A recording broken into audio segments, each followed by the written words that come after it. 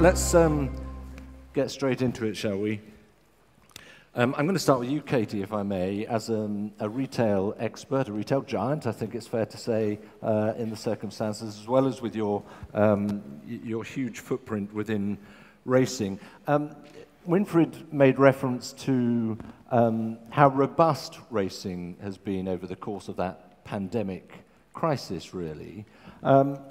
But our economy, our world economy, gets buffeted around all the time. We're certainly feeling it at the moment. I've been looking over the course of the last few days as interest rates are rising here in Australia again, fears about uh, mortgage increases, the pressure on the retail sector there as well. So, um, what do you think that means for racing now? Are you, can you be as optimistic and uh, encouraged today as perhaps uh, Winfried's figures suggest you might have been over the last three years? I love that I get such an easy question. right. Um, so, for those of you that don't know Harvey Norman, we're in eight countries. Um, we employ 20,000 people. Um, through COVID, I was dealing with eight governments. So, for all the issues that you think you went through racing, with racing through COVID, there were a lot of consumer facing businesses that had much bigger challenges, actually. Um, but we were able to take the experience that we had with our Harvey Norman business into our racing business. So, with our racing business, we have a lot of touch points. Um, we're breeders, we race, we own a race, we have an auction house, um, uh, we're a marketing company, and um, I think the racing industry coped really well, as did a lot of industries. But, you know, there's a lot of questions, and Winfried's spoken about them. Um, a lot of people think that that great result that everyone, a lot of people got through COVID is the new normal, and it's not. Right? The world's going to come crashing down. It's already started to come back.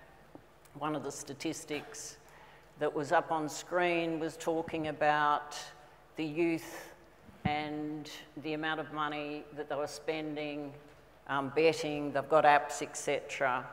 In a lot of countries, actually, those young ones that were earning 400 bucks a week suddenly got $750 a week, whether it was furlough, JobKeeper, whatever. They were sitting at home, and this was a great way to use that money.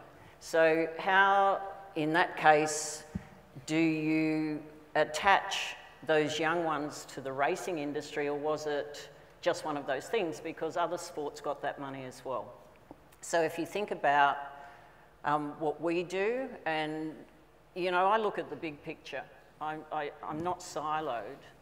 And what we continued to do and continued to work on with Magic Millions was how do we give the consumer an experience? So you are not siloed. How do you bring more people into the industry? How do you get young ones into the industry? How do you make it a global sport? Um, my, my critic here on the right, Eddie, will, will tell you what I got right and what I got wrong. He's very good like that, and I'm happy for him to do that. Um, but, you know, you would have seen that we introduced, prior to COVID, polo, and through COVID, show jumping within our week which is authentically about the horse, has to be about the horse, but we're bringing in people that are already about the horse. And how do you um, use equestrian as part of the greater conversation around what happens to horses after they've finished on the race, racetrack, for example? Um, so, you know, and and I'm going all over the place here because there are so many points that Winfried has brought up. The show jumping was a huge success for us this year. We had 5,000 there um, to watch this great event. But if you're going to say thoroughbreds can then become show jumpers, you've got to get the grassroots of show jumping going. You've got to get people back into show jumping so that it becomes a great national sport. You grow the sport that way and they become integrated into this bigger market that we're talking about. The same with polo, the same with eventing, the same with dressage, actually. Um, from a global perspective on the brand, we not only do the show jumping and um, polo, on the Tuesday morning before the barrier draw, we do the race on the beach. I'm not recommending this, but we did get good coverage when we lost two horses. I think um, the German coverage was best. We lost two horses on an autobahn, and um, I didn't know we had autobahns in Australia. Um, but, you know, that race on the beach has become phenomenal globally. We go to the barrier draw, which is on the beach, the auction house, the race day is phenomenal. Um, but in, in every part of that touch point where we're, we're marketing this industry, we're doing it to the general public. So, yes, you've got um, the wealthy, you've got mainstream, but you know, all of the activities that we have for that week or that 10 days is bringing the general public to it. The race on the beach, thousands of people, and they're all families.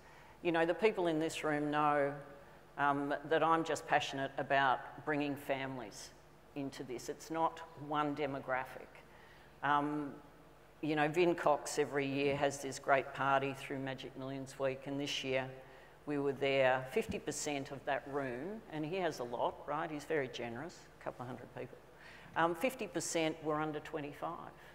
And I'm looking at these young ones that just love this industry, they're um, passionate, they've grown up with their parents in the industry, they're educated. I'm actually really, really positive about the future generation coming through. Um, just one last thing, um, and it'll come up later. I've just been in Silicon Valley for the week. Chat GPT, you all know, right? I was with um, Google as Bard got launched, I was with TikTok, looking at meta reels, looking at YouTube shorts. Um, whatever you've seen with social media and digital up until today is going to change totally mm. from now. So we'll be sitting here in 12 months' time going, oh my God, look where it's gone. So you actually have to be on top of this. We're a tech company as well. Harvey Norman's been into, into tech since 1990. Um, I'm there all the time keeping up to date, it's really important that you don't say, leave it to somebody else, you've got to be involved. But there is a game changer that happened last week, mm. and it's going to be interesting to see how that plays out with racing. You set yourself up for this because I'm going to ask Eddie what went wrong in a moment in terms of what Magic Millions has done. But can I just ask you this then? From all you've spelt out there about encouraging youngsters in families, not possibly non-race goers, where is your conviction that they will now be gripped by the sport and be held to the sport, or actually they'll, they'll, enjoy, they'll enjoy a bit of fun on the beach, but that's as far as it goes? Was that to me? Sorry. No, that was for Katie. Oh, sorry, I thought that was for Eddie. No, say, say no, that again. I, Eddie will give you a list in a minute. I'm so used to Eddie taking over.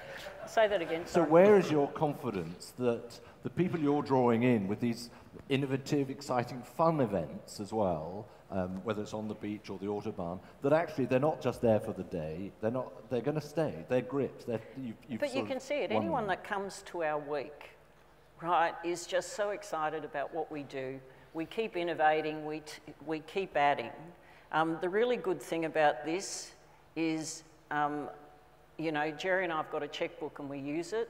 And if I hate something, I change it. right? There's no panel discussion. Gerry just follows what I, you know. Gerry says, Kate, whatever you want to do, that's fine. Why, why am I not surprised to hear that? No, but, but it's, you know, as you, a lot of you sit on boards, etc. I know you're jealous that I can make that decision so quickly.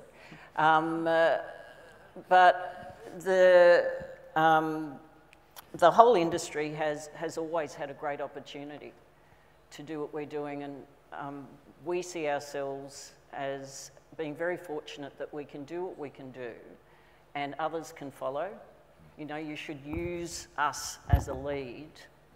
But one of the, um, one of the points in, you know, how you get more people into this racing industry. Our daughter is a show jumper, she's in Europe, this is a career in Europe. It's not so much a career here, so we need to get that going, and that comes back to how you attract talent.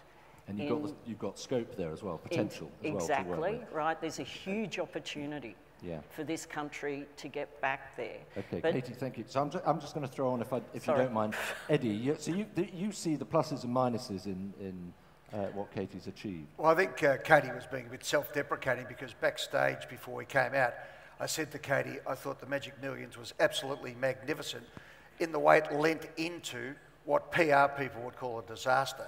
so when the horses got off and ran down the street, it went around the world.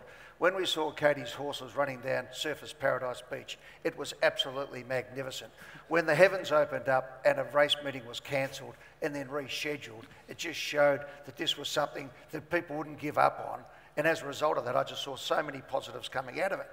And in some ways, what Winfried said uh, in his amazing dissertation, I think we should give Winfried a, another round of applause because it was just yeah. fantastic because for the first time in a long time, I've seen an organisation, I'll say industry because I'm going to come back to that word in a second. I saw an industry look at itself and say, right, okay, we need to move, we need to have a go, we've got some things going. Katie has been able to do that with her Magic Millions. But the first thing I'd say is we need to get away from that word industry. In here, call it an industry, go through the betting and everything else. What we have to do is go out and talk about a lifestyle, the lifestyle of the horse the lifestyle of the strapper, the lifestyle of every person in there. And I would lean into one of the greatest things that racing has that no one seems to mention, and maybe because I'm a little bit to the side of racing, and that is it is probably the greatest sporting organisation for gender equity going around. Whether it's the fillies, whether it's the mares, whether it's uh, uh, Jamie Kah, Annabel Neasham, you've had people like Gay Waterhouse, you've got people, entrepreneurs like, like Katie here. You've got all sorts of people coming through. It is one of the most egalitarian sports, even though it is always pitched to the toffs, if you like. And there's a real opportunity. Thank you for that person up the back. Keep going, I won't interrupt you. But, uh, this is where we can get into it. And that's where, know, David, you want to ask me about documentaries and things. And, and yeah, Drive to Survive is, you've got to be careful because sometimes that's just lightning in a bottle and it hits a zeitgeist. Where I look at racing at the moment is racing only has to go back to its own history. It was racing that invented, the Melbourne Cup Carnival invented the birdcage and corporate entertaining in this country, long before football or anyone else even knew what it was. These things that the, the organisations, you know, even Ian McEwen reinvented the Cox Plate, which was that stage was a, you know, it was a race, but it wasn't anything really spectacular. Then it became a focus. So I, I look at the documentaries and what you need to do with documentaries is get documentary makers in to do them. Don't have them as, I'll use the term, industry pushed forward. Don't have the organisations who, who, get on, because organisations want to have good PR. Good PR is not good entertainment. You know, Drive to Survive works because of the friction. Um, I did a show called The Footy Show back in 1994, which revolutionised AFL football and then NRL up in the northern states. Mm. And the reason why it succeeded was the only successful sports show ever in prime time until now, you've got the front bar on Channel 7, is because it was everything away from the industry. It was the excitement. It opened the doors and let women in to what happened in the locker room. We found out that the people who actually were the proponents of these great skills also had a sense of humour, or could sing, or were stupid, or there was controversy. And you got them up and you saw them at their weakest moments, you saw them at their greatest moments. But one area that I think everyone needs to look at is the four biggest half hours of television every night of every week in this country is the first half hour and the second half hour of Channel 9 News and Channel 7 News. Every hour on every radio station, it is legislated that you have to have a news segment. The only sport that actually is going in in the mornings to get on breakfast radio, the highest and most important part of a radio station is racing. Get on the news. Get on the news. Today's Herald Sun doesn't have a racing story in it, has it every other day, and that's not a, a, a, at the Herald Sun, it's quite the opposite. The Herald Sun absolutely supports racing like you wouldn't believe in this town, but there's, there's opportunities and not PR, not commercial driven activities, but actual news That, and make is- stars. That's really throwing a gauntlet down there, isn't it? Because you're saying get, get on the news means, well, I mean, I'm in news. I know what I want on the news, and it's not another lovely story about a, a horse winning a race. It's the seamier side of life. You It- know? it's everything. getting It's- to the truth behind some of these stories. So it's very bold to say you've got to push yourself out there, warts and all. Yeah, it is, and, and let people talk. You know, that's the thing. PR is great, except everyone knows that everyone knows the backstory, and it becomes the backstory, and then it becomes a best-selling book down the track, and then one does a movie about it. But in real time, I'll give you an example. We had a, an agreement with a, a major industry figure in the I'm using industry major racing figure uh, last year. A controversy happened. Manager got involved, stopped this straight away. By the end of the year, when the, the documentary would have been finished, that person had become a superhero again. It would have been one of the greatest documentaries going in sport. But it got stopped at the first hurdle, the first, we have to be careful, the first PR, the first, oh, we could be cancelled moment. You've got to lean into these things. People talk. When, you, when you're sitting watching the news, you're sitting there sometimes, it's when they go, news break, a breaking story, and you go, shut up, everyone, and you lean forward. We've got to get racing to be lean forward again. I think if we're going to break through these areas and get the attention of young people, because as Katie said, it's going to be happening on Twitter, Instagram, TikTok. YouTube, TikTok, TikTok especially, Yeah. and, uh, and whatever is invented in the next six months. Yeah, and every every element is on TikTok, Yep. positive and negative. So you've got to be certainly up with it. Thank you for that, Julia. I mean, I think um, you know it's a it's a difficult sell, isn't it? Racing at the moment. I think in the UK it's a hard sell. What what what can you do? What do you think you need to do? Is it about changing the product? Um, can it just be changing the perceptions?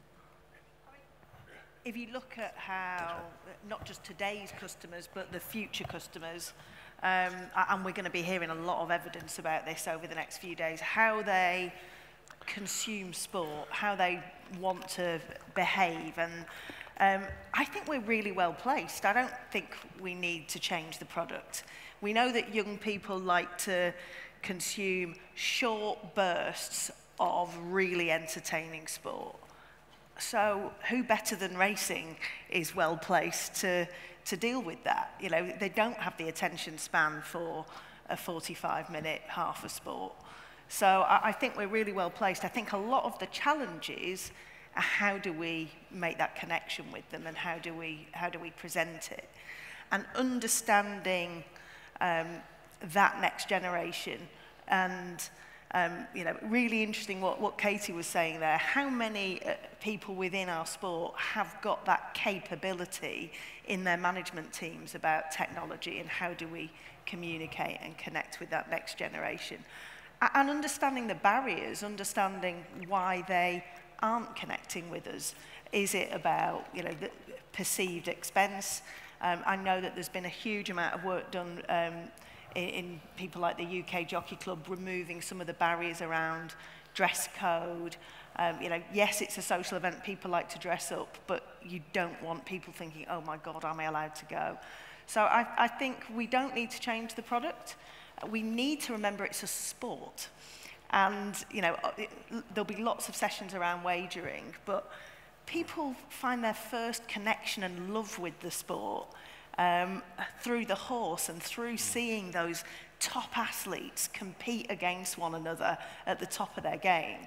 And so we, what we must ensure is that those pathways for the best horses to compete against the best horses and all the stories and all of the possibility around giving fans that behind the curtain look um, uh, we, we need to make sure that we protect that It's interesting you mentioned the, the dress code and, and you know bringing it down a notch. I mean, a lot of younger people are going to.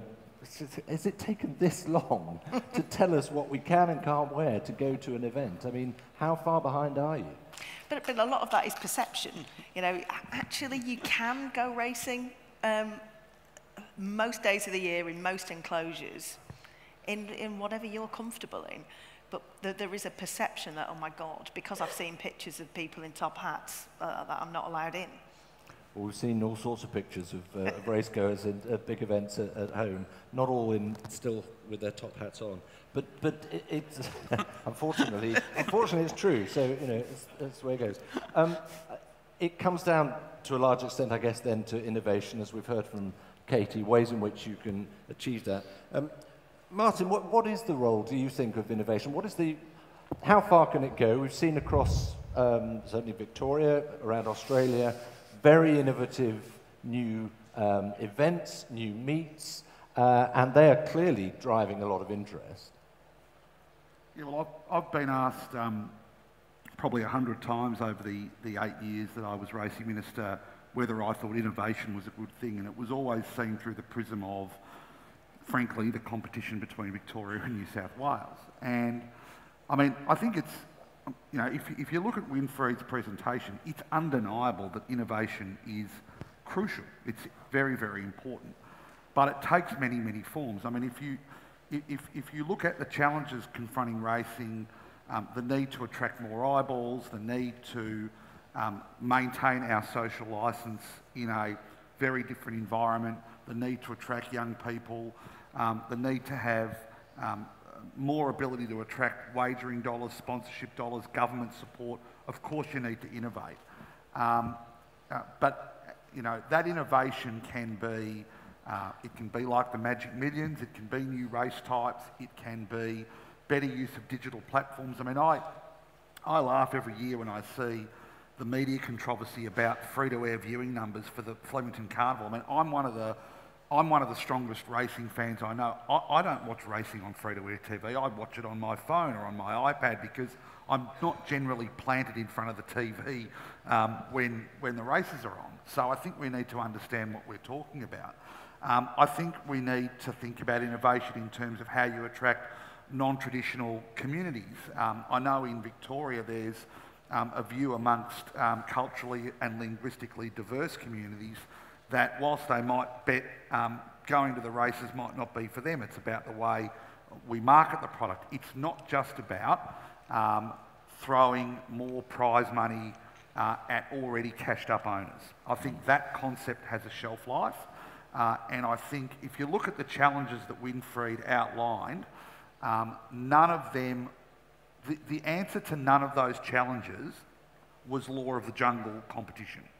Um, the answer to those challenges is about more collaboration. So I think you need innovation within the, within the structure of collaboration, and that's not just national but international. Uh, and you need to appreciate that there are certain strengths and pillars of the industry, and I'm not just talking about the Caulfield Cup, Melbourne Cup, and Cox Plate, but I'm equally talking about the Stradbroke and the Railway Stakes and the Golden Slipper. Those pillars need to be protected, and there needs to be a lot of innovation around them, whether it's about attracting younger uh, race fans, whether it's about ensuring that um, our animal welfare credentials are unimpeachable. You know, and I think something like a global standard for the whip rule would be incredibly beneficial, both in terms of perception uh, and in terms of our ability to attract a new audience. Um, so I think innovation is important, but we need to be clear what we're talking about. It's not just about one thing. It's not just about you know new races with more prize money. It's about all of those ancillary things. You know how we entertain our customers, how we use our facilities, um, what new types of events we put on, uh, how we think about animal welfare, how we attract a new audience. The, I mean, the positive side of innovation is when you see the, su the success that comes with it, but it does mean that in Australia you've got races which are new and exciting, and they're not even Group 1. They're, they're overtaking some Group 1 of, uh, events in terms of the, the public perception of, of what a great race or meet uh, it might be. Is that a problem for you? Well, look, I think, I mean, um, there are probably people in the breeding industry who would have a, a better sense than I would about um, the importance or otherwise of, uh, of black type. I think it's still pretty important to people. Um, but the, the important thing is I think there is a pathway towards some of those new race types being group races. Uh, but again, that pathway lies within um, a collaborative framework rather than a law of the jungle framework. So, um, Goto-san, if I could come to you on, on that point really about the pattern and, and whether it is even still relevant and in connection, as, as Martin was saying, to breeding. Do you think it's still relevant? Does it still have a role? I believe that the importance of pattern races will remain unchanged forever for thoroughbred racing. Thoroughbred racing consists of many factor stages, breeding, breaking, training, and racing, and the equine value chain created by this is extremely important. Mm, in other words, racing should be an indicator of breeding, and this is the reason why bloodline has been so important in horse racing history. In order to promote thoroughbred racing and to make it root in, into society, it is necessary for racing authorities to draw up the ideal structure that should exist and to make as much effort as possible to achieve this.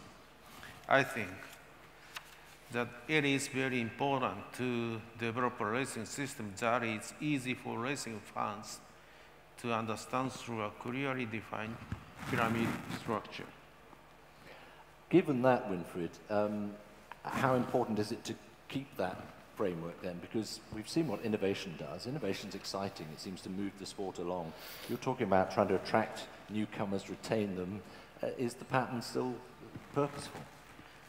I personally believe that it's not a necessary contradiction.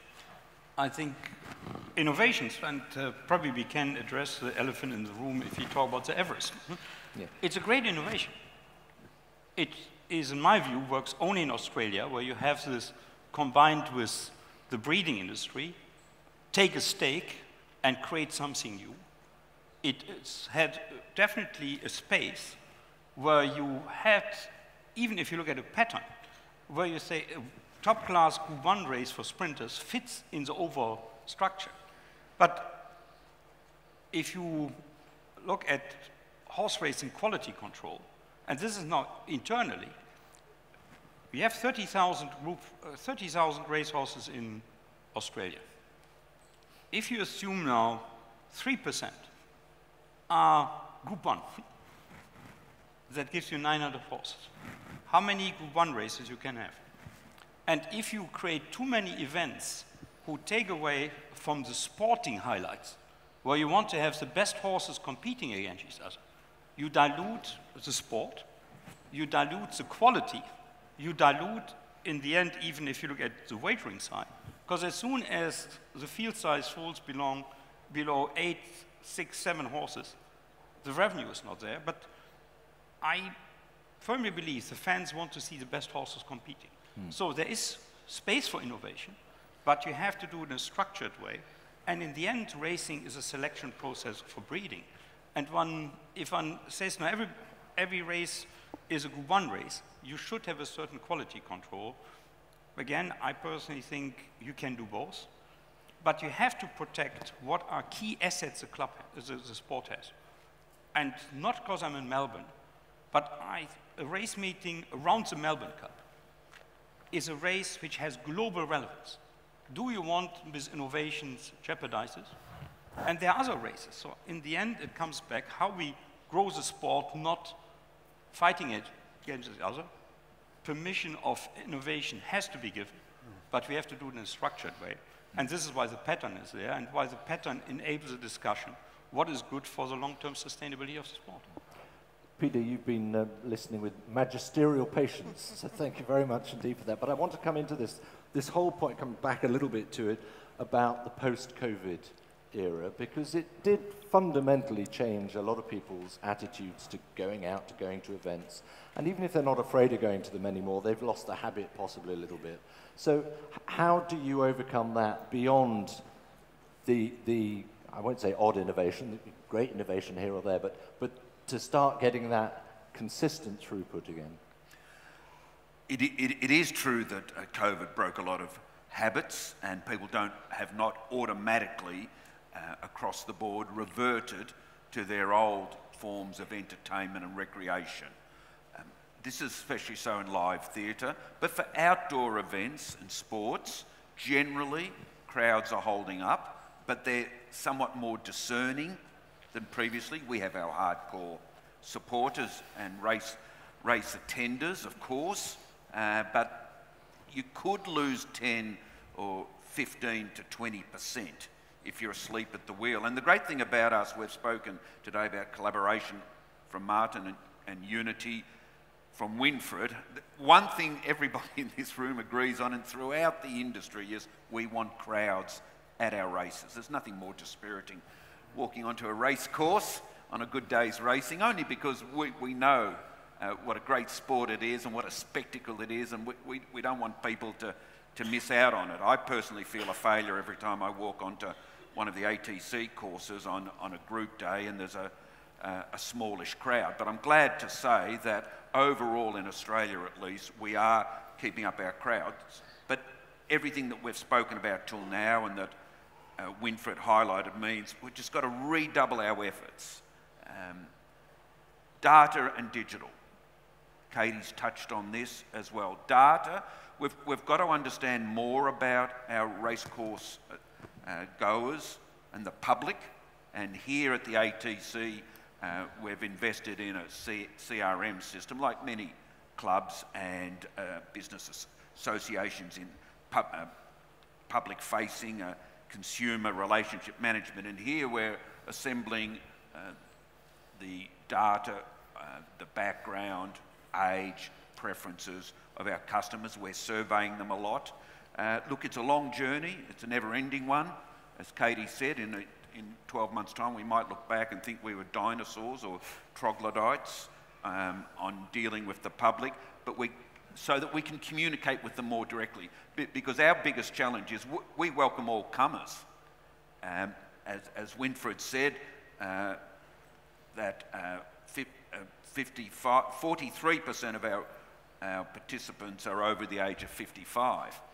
Um, so they have to be approached in a different way. If we can direct our attention to them by email or post or old media, newspaper advertisements and, and radio and free to air, all the better. So we're investing heavily in that. Uh, there's a lot of privacy issues. You've got to get their consent. Then you've got to safeguard it with cybersecurity. Heaven forbid if there was ever a, a data leakage.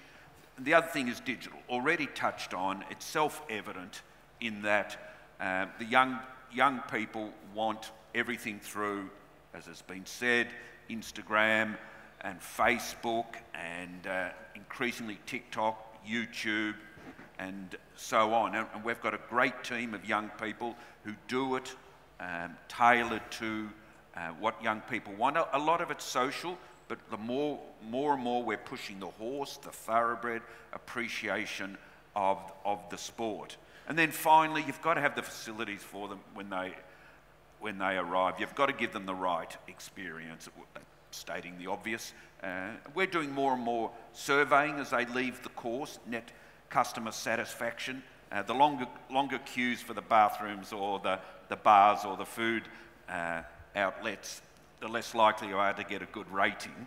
Um, but but you, have and it's hard because as race clubs, we're not flush with funds. We've opened the, in partnership with Racing New South Wales, um, the Winx stand, they largely funded it, and it's just a game changer. It's, it's, it's world class, it's luxury for the public. Uh, and we've now got a policy of keeping our admission very low. We're only $40 on Everest Day, which is our marquee event. So it's multifaceted approach, but essentially the bedrock of it is data, digital, and race day experience of an exceptional kind that will get them to return and, and take on the chin some of that social media commentary then. If you're talking about queues at the Louvres, for example, I think in the UK, Julie, last year it was the price of a pint, wasn't it, at, uh, yeah. at Aintree or whatever. Um, but where, Eddie, where do, where do the broadcasters fit into that in terms of social media? How much sense of responsibility uh, do you have to help drive that, that side of the interest in sport? Well, it's a good point that uh, uh what Peter said there about the, you've first of all, to get people there because what you have to do as a broadcaster is we want people there because they're part of the whole set. Yeah. You know, the crowd makes the excitement come. We saw the racing under COVID when there was no one there, and we saw it when it's, it's full of people. We know which one we want to have. And Peter's point, we have to get more of the driveway to driveway experience for people going to the racing because I think a lot of the barriers are are there before you even get to them. Once you get the races, it's great. It's actually getting there. How do you get on the train? How do you get a car park? Everywhere you go along the way, people are saying, no, no, no, you've got to be member, you've got to do this, you've got to do that, you're not dressed properly, can't do that, your mates can't come in here, queue up to go to the racing, you want to have a bet on, you haven't had a bet before, the bloke behind you's trying to get on and uh, yelling at you to hurry up because there's two minutes before they jump somewhere. It's a, it's a hassle and particularly for people who are not imbued in racing traditions, and even more particularly, I feel, for women. And it's interesting, we, we got some applause about uh, bringing down the dress code. From my experience, when you lessen the dress code, everyone wants to dress up. And uh, you know, so it was like the uh, when we're in COVID. As soon as you said you, you only had two hours a day to train, everyone trained for two hours a day. Now you've got 24 hours a day to train. No one gets off the couch. It's you know. So as soon as you actually take the barrier for entry away for people, they get into it. To your point though, and going back again to uh, one of Winfried's uh, slides, David Hill is one of the greatest television producers in the history of, of, of in history. He was the guy who was the producer who turned World Series cricket into what it was for Kerry Packer. He rejuvenated Premier League soccer, uh, the NFL, Monday Night Football for Fox. He's a, a, driving force, pardon the pun, behind Drive to Survive. He's a great mate of mine, and we're discussing this. And one of the things that TV needs to do for racing is, is be the catalyst for the blockbuster.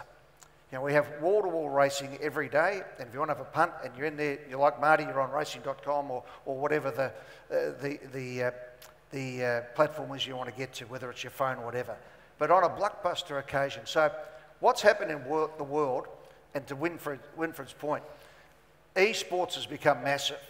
Now, when esports came on, I think the first one we had, we, some of us here old enough to remember Pong. Remember that when you had the two things going up and it hit it back and forth like it was table tennis. Their ambition was to turn esports into looking as real as possible. The next generation have lived through that. What we need to do as broadcasters is turn the broadcasting of sport, but particularly racing, in my opinion, into it looking like a video game. So you need to have things like, I mean, racing, it's a funny industry at times. It's called racing, yet we never know how fast the horses are really going, or whether it's a record. Or, you know, you watch the swimming, and who cares who's swimming up and down? You put a yellow line there and say there's the world record or a Commonwealth record or the school high school record, and everyone's up on their feet.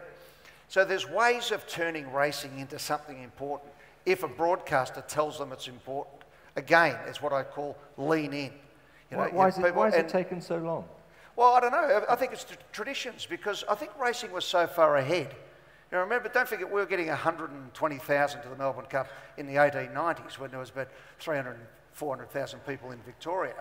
And sometimes the, the, traditions, I think again, Winfried said it, maybe even Katie has been living proof of breaking traditions but holding the things that are important, not, not vandalising it, but taking it to a new level. I think Jean Claude Cocteau said something that if, you, if you're able to take something old and make it new, that's a poet's work. The rest is prose. And that's what we need to look at. Even I look at commentary, for example, on the big days. As Martin said, you want to hear the commentary going around, you can watch that on, on your platforms. But if you're a once a year punter and you're watching the Melbourne Cup, for example, why wouldn't you have Bruce McAvaney or somebody as a special comments person who can say, right, here it is? We've got with 5G, you mentioned 5G before, 5G, 6G, every horse will be able to have where it is in the race, mm. whether it's racing up, whether it's slowing down the sectionals, all those types of things become betting prospects, but more importantly, exciting prospects. Where's my horse? It's actually five wide. Did you know that means he's going to run an extra 150 metres in the Melbourne Cup? You know, hello to Shane Dye if you're out there from Caulfield. But, uh, um, those type of things. And I think that's where broadcasting needs to be. Again, not just having locked off cameras in the stands. Get shots back into the stands when the racing's coming through. And we shoot at an empty paddock most of the time when all the action's happening this way. One quick example before I, I, I pass on. This year, I was lucky enough to host the Melbourne Cup Carnival. What is normally the dead end, literally, of the carnival is the final day, Stakes Day. It was turned into Champions Day. The last three races, for me as a broadcaster, were as exciting as anything I've broadcast. And I've done everything from Olympic Games to grand finals to uh, uh, Super Bowls, etc. We turned the cameras around. Instead of going out, which is traditional, to get the jockey as they finish, and again, you're at the middle of nowhere, we got it inside and we saw captains of industry, footballers, all these owners jumping up and down, and the joy of racing permeated right through. Gay Waterhouse, one race, hugging, everyone was there. Everyone seemed to be friends because we actually turned it into a party in the mounting yard. Then we went out to the jockey. After all that, my two sons, who are the demographic we're after, 19 and 20 years, 21 years of age, all they wanted for Christmas was to be in a syndicate. Right. They wanted to be part of this. They saw it and thought, how unbelievable is this?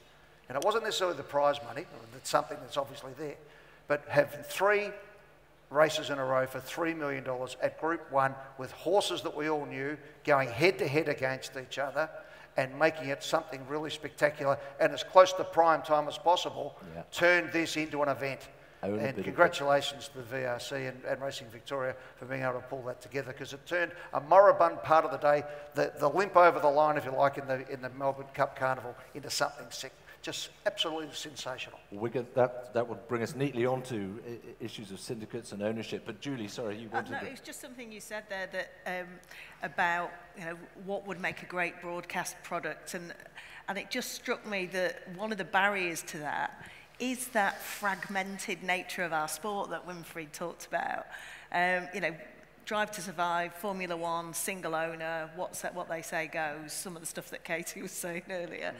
Um, but just to, to make something quite simple, like sectional timing, let's make sure that the broadcaster it, it says it's, impor it's important, so we're all watching for the world record. You need everybody working together for the trainers to allow um, that chip to be in the saddle cloth. You need the jockeys involved. And, you know, that collaboration that Martin was talking about earlier and, and recognising that we've got to work as one to, to make that exciting broadcast product. It's, it's the blockbuster. Yeah. You've got to have blockbusters. I mean, there's a, there is a great book I recommend for anyone. It's about 10 years old now, but it, it, it still works. It's called Blockbuster. It was written by a woman who was a Harvard graduate who went into sports, media, movies, and worked out where it all goes. And Disney changed their business plan. In the old days, they'd have, you know, 10 or 15 movies a year, spend 10 or 20 million on it. They decided, hang on a second, why don't we go big? We'll go We'll get Robert Downey Jr., pay him a fortune, put him into this superhero category, get all the merchandise around it, and throw $150 million at the marketing of it and make $2 billion. And, and then it goes. Then after that, that feeds the rest of everything. If you want to have art hat movies, if you want to do the rest of it. And, and I think the, the industry part where you've got to have racing every day, and you do, you churn out the sausages every day. Racing here, crossing there, and it's fantastic. But on the big events, You've got to tell people it's big. Mm. And I think what happens in, in some of the battles we've had over, whether it's the Everest and locally, you know, the Everest and you know, the Cox Plate wants to move and this is that, we didn't celebrate the fact that we invented a ripping hour and a half of, of sport and entertainment on that last day because everyone started to look to how they could cut each other's lunch. Yeah. Let's celebrate, focus in, and go bang. And you'll get people. You'll get on the back page of the Herald Sun every day. The, the people will become interesting and you'll actually have something that you can sell, and people will celebrate. To Katie's point, people want to be part of a community, and then they'll come to the races. Well, let's get into that issue because um, you know we're talking about making the, the sport more attractive to, especially to youngsters. You've given a great example of your, your boys who now want to get engaged in owning a little piece of this. Um, so we'll focus on ownership for a moment if we can, because that feels to me as a relative outsider one of the most conservative aspects of racing. You know, you've got the big owners up here, and it's for their pleasure, and everyone else is sort of cascades away from there. How do you change that? That seems to be one of the real challenges to bring a, a new uh, element into uh, racing and into ownership. And Goto-san, if I can start with you, um, because the JRA has some initiatives in that regard. What have you done to to appeal to the next generation of horse owners within the JRA to get them into the sport? say that to be a horse owner in Japan is, in a sense, a kind of status that requires a certain level of financial asset and income. It means that not everyone can be a horse owner. The JRA promote ownership to this uh, segment of the market by active, actively targeting the wealthy in public, publication, and also by tie-ups with mega banks, credit card, card company, and urban developers, holding partners at race courses for the wealthy, and introducing trainers as needed. These activities have been effective in appealing to the wealthy class. To appeal to a broader share of the population, the JRA allows re registration of the Syndicate Club Corporation that receives in-kind investment in race horses based on an, an anonymous partnership contract. This form of ownership has been very popular in recent years as it allows racing fans to become part owners without having to meet the financial requirement of an individual owner. For example, in the case that the purchase cost of a house, 50 million yen is divided among 500 people, it makes it possible for each person to participate with a 1,000 yen investment. Through the, the experience of this syndicate system, the number of people who developed into registered individual horse owners has been increasing. Right, so, so it's beginning to permeate through. Katie, what, what are the sort of the untapped opportunities, do you think, in terms of ownership? And uh, how many can own a horse? Who should be, who should be coming in? How do you arrange it? Um, you know, syndications in this country, um, we've done a really good job. And if you go back to our initiative around women 10 years ago with the racing bonus, the extra half a million dollars with our two-year-old race, that really was a game changer in the world, not because of syndicates, but because um, it was quite obvious we didn't have enough women as owners in our industry. And the other um, game changer there was how we were portraying women in the industry 10 years ago. So it ticked the boxes in a lot of ways. Um, our winner of the two-year-old race this year, Skirt the Law, was owned by, or is owned by 40 women. They paid $170,000 for that horse and they took home $1.75 million. Um, part of that was the women's bonus, and then we put it into the three year old race as well. But Eddie is right. Um, his sons are now looking at a share in a racehorse. And we say to people, don't buy one, buy a share in five horses so that you can actually, with your mates, be following it every week so one share and one horse won't do it as far as I'm concerned. But, but for contemporary society, what a great way to get them into this industry. It's always been in the past the cost of owning that horse as an mm. individual, so this defrays the costs enormously. Um, if you could have seen those women, right, bringing in that horse in January and telling their husbands to stay in the stands right. because the blokes always want to join them on the, on the dais. Um, but, but that's actually underway in this country. So you just push it as hard as you can. It means that you're bringing the general public in as well. And can I get back to what Peter was talking about? So in this industry, you've got to talk about the ecosystem right? If you say that you're going to build a brand on a mobile, you're gone. You've got to get them to the races. You've got to have a great experience because that's your brand. You're telling people what it's about. If you come to our race, you're there on the track, you smell the horses, right? You see the horses, you see the jockeys.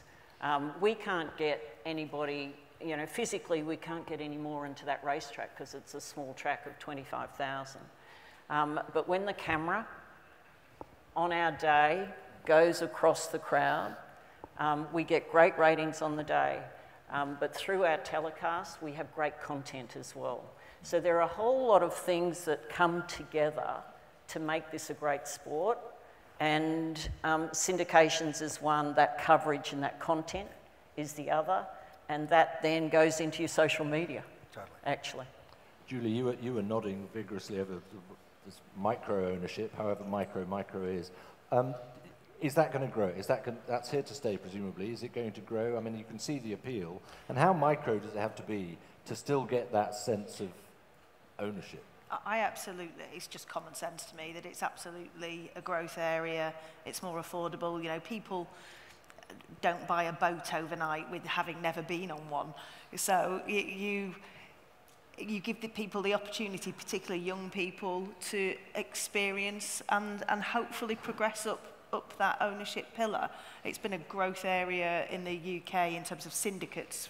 I mean, as far back as 2013, we started really seeing the, the syndicates take off, and I think micro ownership is going to be a, a, a huge growth area. I think one of the, um, you know, going back to, to the integrity threat, uh, we need to make sure that that is a well-regulated part of the market, that in, in this country, obviously, the, the, your equivalent of the Financial Service Authority is interested and um, is seen as, as controlled by the government, but in other rating jurisdictions that's not the case. So we need to make sure that um, if people are putting their hard-earned cash in, that we're not going to be faced with a, a big story that, you know, more shares were sold than, than were available or, or people being ripped off in that space. That's really interesting because that brings into play other issues of integrity. Let's say, you know, what, what, do, what do the general public make of racing and why would they want to be a micro owner of a horse yeah. when they see a horse being whipped every time it runs a, on a track, for example? Do you, have to, do you have to address all these things or do you have to educate? What's the, you know, what's the challenge? I'm, I'm, How do you break the barrier? Katie used the word ecosystem. Taking a, a holistic approach, I think, is really important. Okay. Um, let's move on to how you pull all this together, because a lot of you have talked about holistically and working in unity. Uh, that means government, which I think to great effect over much of COVID. Racing was one of the success stories, if that's the right sort of phrase to use at a time of a pandemic.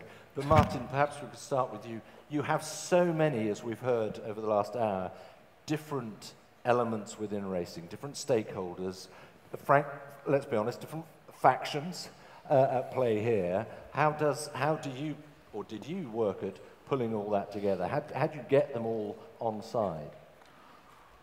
Well, you need to have, I think if you're, if, if, you're a government minister for racing, you need to have a pretty keen appreciation of the complexities of the industry. And as you say, um, that's not just about your principal racing authority, it's about the clubs, the trainers, the jockeys, the owners, uh, and the employees within the industry, the broadcasters, uh, and everyone else. I, look, I think racing and government works well together when um, the two sides, if you can describe it that way, have an appreciation of each other's imperatives. Um, so from um, you know a, a, racing point of view, um, I think the industry expects government to appreciate um, that racing is a major source of employment, that it's a major source of economic activity, whether that's um, just through the spend that happens around a carnival or the tourists that come to, to, to, a major event, um, or, or, indeed um, the broadcasting and global kind of reach opportunities that racing creates. Uh, I think government needs to understand that racing is a holder and a keeper of um, the nation's story and its history and its traditions, and the fact that racing uh, you know, apart from that, um, is a, a, really important pastime and diversion that hundreds of thousands of people enjoy. You know, government needs to appreciate all of those things, and I think that's differentially the case um, in various jurisdictions. I think some governments understand that better than others. I think for the industry, it needs to understand the pressures that are on government. Um, you know, there is not a bottomless well of financial support that can be provided. Um, when things go wrong, whether it's an, uh, an integrity issue, an animal welfare issue, um, or, or, any other kind of scandal, it's often the government minister that finds themselves answerable for that. Um, and so racing needs to be careful not to try and put government in that position. And I think government would like to see, I mean, I know, um, let's take the, the, the, the, whip rule as an example or, or animal welfare. I've always had the view that you've got to take control of these things you know, be the catalyst for change rather than having it imposed upon you. Uh, and so I think, you know, to the extent that racing understands that it needs to grab hold of these issues and manage them and control them rather than allowing them to become problems for other people, um, that is something that is well appreciated by government. I think the other thing that's, we've been very lucky in Victoria, and I think this is the case around the country, racing desperately needs um, bipartisan political support. It's not enough um, to have the government of the day on board because racing does have the potential to always be a political football and a hot button issue. And if you've got whoever's not in power um, deciding that they're going to kick the racing industry for some political advantage, um, all of a sudden racing will be, you know, in some kind of deep trouble. So, and I think the industry's been very good at ensuring that it has bipartisan support across the political spectrum. That's not the case necessarily with some of the minor parties, but you know you can't please everyone.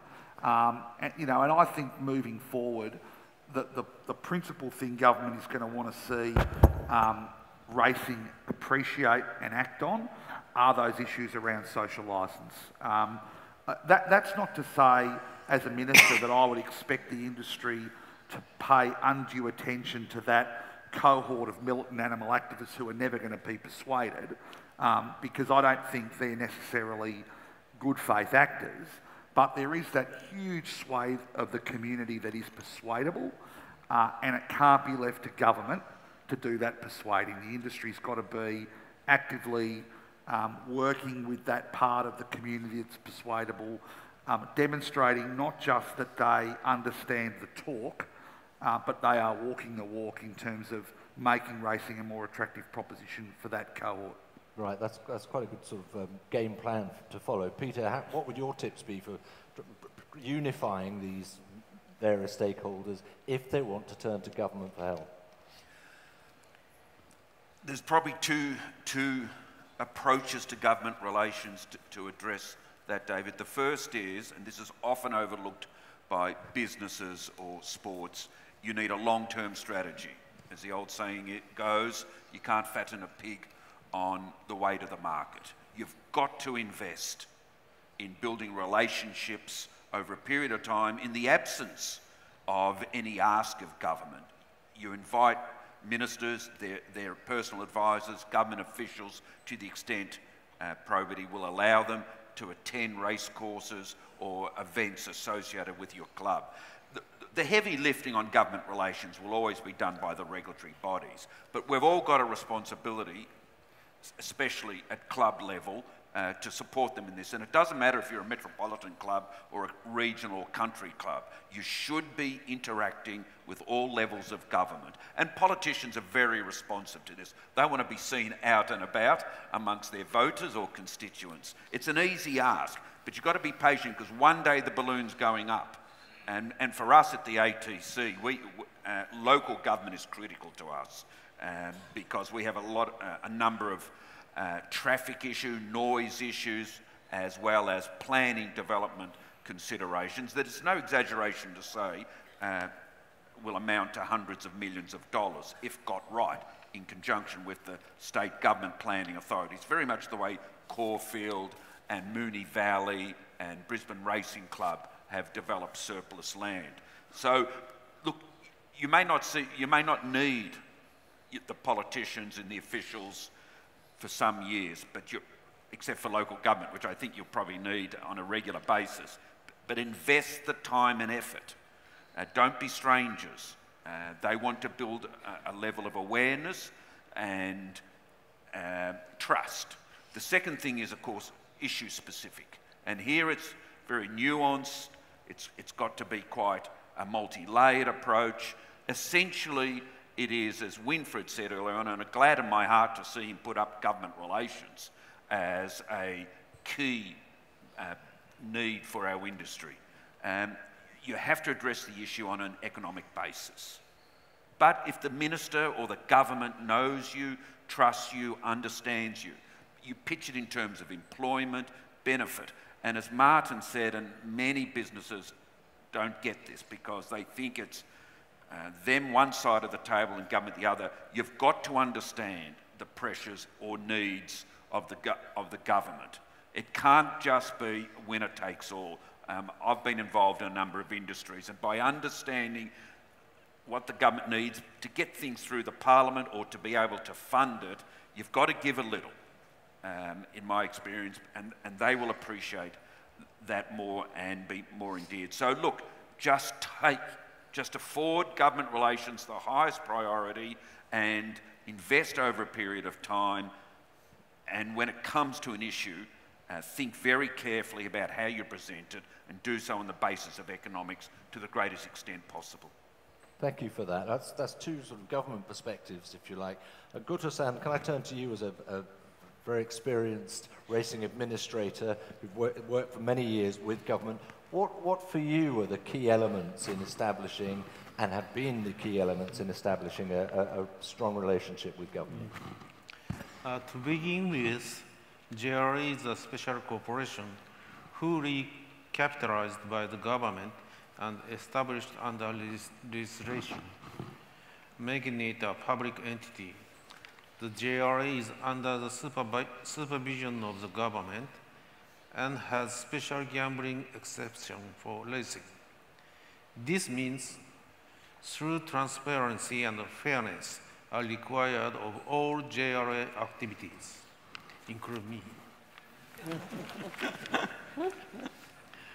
While there may be some cases where such a legal framework feels rigid, I think that it is effective to maintain sport integrity and public trust. We have established a good reporting and communicating system with our government and the flow of information is extremely smooth. I think that this well-established framework is the reason why JRA was able to maintain racing without any suspensions, even during the pandemic. Thank you very much indeed for that. Let, us um, just come on, a, we haven't got that much time, so I want to get into a couple of other issues, one of which you've touched on, or we touched on, Julie, and, that, and it comes down to the social acceptability of, of the sport. And we mentioned the whip or the crop, call it what you will. Um, interesting time for you to come here, and we're very grateful. But as the, your own reforms are in the pipeline in the UK, how far do you have to go to find that social acceptability? I mean, our, our new rules came in on Monday, but it, it's not just looking at, at the crop in, in a regulatory framework. We're looking at it as part of a, a whole suite of activity around horse welfare. And you know, we have a, a, a strategy on horse welfare called A Life Well Lived that goes all the way from breeding through its racing career, aftercare through to end of life. And, and that will cover things like pre-race trot-ups. It will cover things like um, safer obstacle design, and you know the, the, the whip rules are, are just one area and, and I think Martin mentioned um, social license and, and that's why it's important that you, you've had this sort of unspoken bond of, of trust with the general public. And, and if, if any, there's um, a World Horse Welfare paper on the, the subject of social license and, uh, and I would recommend it to anybody um, in the room. But it, it, its conclusions are is that you've got to, you can't be in denial. Um, that you've got to embrace and be proactive about working in this space. Um, it's hard because we know that a lot of our fan base or our future fan base is now less connected with the rural economy, they're more urbanised, you know, all of the things that Winfried talked about in his, his speech. Whereas those who work with horses are saying it's not a problem, you know, nothing to see here. So we, we need to make sure um, that we're proactive, that we're authentic, you know, and that it, it's not just seen as, we're, doing something uh, um, for positive publicity. So that, I, that's very difficult to achieve, isn't it? Oh, when, hugely. as you know, within, I'm sure within this room as well, there are plenty of people who say this is not a welfare issue. Yeah.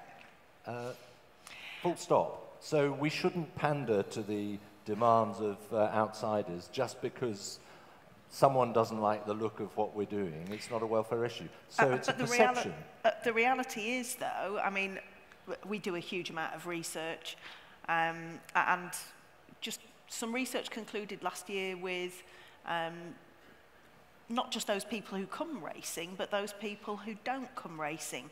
And one of the top reasons they give for not coming racing, um, 35% of them think it's a cruel sport. And then if you look at 18 to 24 year olds, that goes up to 45%. So it's not just that it's the right thing to do.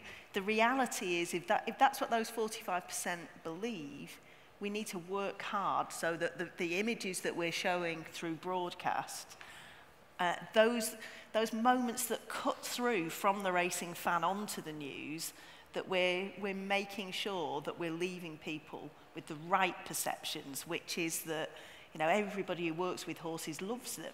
Um, and, and we need to be working hard to make sure that those stories uh, are getting through to the general public. Eddie, as a broadcaster, losing the whip or keeping the whip, does it make any difference in, a, in viewing figures? Oh, I think everything Julie just said, I uh, underlined three times. And one of the things, there's an old saying in uh, disc jockey land that uh, when the disc jockey is sick of hearing the song, the public are hearing it for the first time. Mm. And so what's happening is you do get people who are legitimate in their desire for the, the welfare of the horse. The term whipping straight away makes people blanch in the first instance. If you said it was controlling, that actually was uh, integral in, in helping the animal get around in a safe way, that it's almost like having a Formula One car without having an accelerator and a brake, it makes sense. But if you say, oh, they have to use the whip, all people in, in that particular area of life, and particularly young kids, they say, well, all of this is it's so you can win the big prize money. You know, organised crime are, you know, helping. You know, they just want to launder money. They want to have, you know, the horses are getting doped up, etc., etc. What we, as an industry, if we want to go back and use that term again, need to do is get rid of the industry thing, get the lifestyle thing back, but also explain. So, for example, the Melbourne Cup had uh, a lot of problems because international horses in particular were breaking down. It was devastating. You go to the Melbourne Cup and all you'd want to make sure is that the 22 horses got round. Subsequently, though, in the last three, four years, the introduction of the MRI machines, finding hotspots in horses, um, a, a, trainer like Danny O'Brien, who won the Melbourne Cup with Vow and Declare, and then found out it had, had gone amiss, kept the horse out for 12 months, came back last spring and won a, a Group 1 race. They should, that's the celebration. And what we don't do is celebrate that enough and show. So, I mean, I would be showing all through the build up the, into major races the machines, the vets. I'd have far more women doing the discussion about it and putting the women vets up because people do see old male and pale, stale, you know, corrupt men, they've been in it forever and all that sort of stuff. Get the women out there more. I think that one of the biggest openings of people's minds in racing has been the amazing uh, propensity now to see far more women commentators on broadcasts. It has made a huge difference. It's softened the sport. It's taken away that chainsaw of bloke after bloke after bloke after bloke talking, that type of thing. And I reckon that's where we need to get into. There's nothing wrong with actually pumping up and getting on the forward step on what the industry is doing for husband, uh, animal husbandry.